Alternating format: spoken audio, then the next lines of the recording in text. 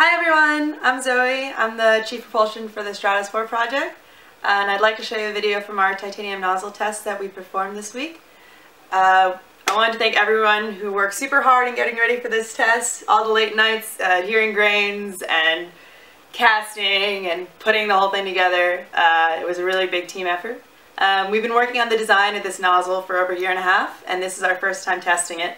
So as you'll see the test, uh, we didn't get a full burn of 38 seconds. Uh, however, we got some great data on how the nozzle performed during startup and we're looking forward to testing it again in January. So enjoy the video.